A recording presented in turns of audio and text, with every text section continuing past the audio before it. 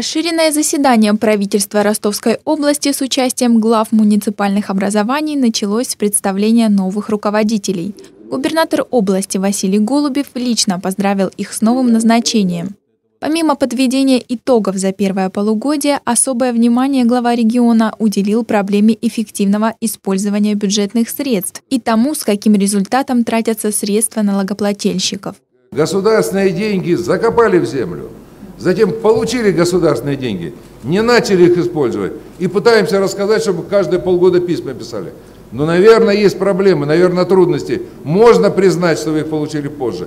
Но когда получили, вы же получили деньги, которые ваше же население в виде налогов вам заплатило.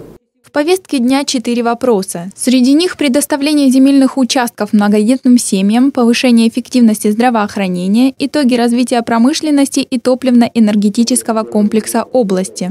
За три с половиной года промышленными э, компаниями получена государственная федеральная поддержка по 17 направлениям.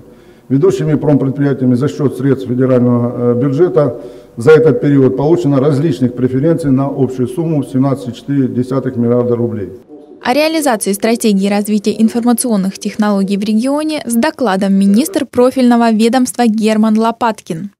Более 12 миллионов рублей, по его словам, выделит областной бюджет на поддержку акселерационных программ. Некоторые проекты удалось воплотить в жизнь благодаря тесному сотрудничеству с ДГТУ. Успешно функционирует проект «Медиапарк». Цель проекта – развитие IT-медиаиндустрии на юге России – на базе проходят массовые мероприятия общероссийского международного масштаба. При поддержке правительства области развернут промышленный коворкинг «Гараж». Уникальное сочетание университетского коворкинга и бизнес-инкубатора. В Коворке создано 100 рабочих мест, действует публичная система отбора резидентов. На заседании прозвучала инициатива по организации классов IT-профиля в школах Ростовской области. Они могут появиться в 15 учебных заведениях Ростова-на-Дону, Волгодонска, Каменска-Шахтинского и Шахт. Обучение детей информационным технологиям планируется проводить с привлечением будущих работодателей, членов IT-сообщества региона.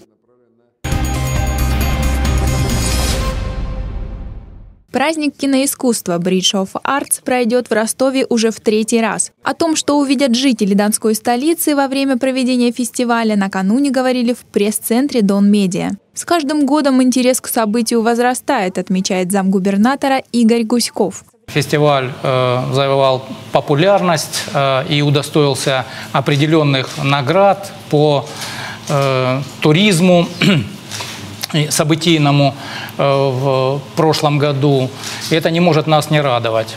Основная часть кинолент – премьеры. В конкурсной программе 10 картин производства 2017 года. Шесть из них будут показаны в России впервые. Нашу страну представят две работы российских кинематографистов. Уникальную подборку мотивационных картин зрители увидят в кинотеатрах Ростов и Большой. В этом году мы готовим кинопоказы примерно для 20-25 тысяч посетителей. В общей сложности это 109 э, картин на сегодня. Новшество третьего сезона конкурс кинолент «Россия вдохновляет». Организаторы не ожидали такого ажиотажа. Из 180 принятых заявок выбрали всего 36. Это особый жанр. А, каждый регион а, эти фильмы снимает, а, города э, снимают какие-то отдельные местности, заповедники и так далее. И очень часто это талантливое кино, а еще более чаще это фильмы, которые делаются, ну, вот как в прошлом веке, например. В шорт-лист внеконкурсных работ в этом году впервые попали две короткометражки ростовских режиссеров. Кинолента Ивана Виноградова-Ивановского снята в Ростове. Абсолютно все актеры – талантливые жители Донской столицы. Мы формулируем жанр как мистическая притча и говорим, что это фильм о детских страхах, живущих в каждом взрослом. Уделят внимание и подрастающему поколению. В завершающий день фестиваля покажут юношеское кино. Это фильмы воспитательные, фильмы, которые э, учат любить э, родину, родителей э, и основные чувства в себе воспитывать. Деловой форум кинофестиваля включает в себя питчинги и мастер-классы ведущих специалистов кино и медиаиндустрии. Мастер-классы у нас в этом году будут отличаться от предыдущих лет тем, что мы не будем не говорить не только о продюсировании и экономике кино, но в том числе будут мастер-классы по операторскому искусству, по, сценар, по сценарному искусству, по актерскому искусству.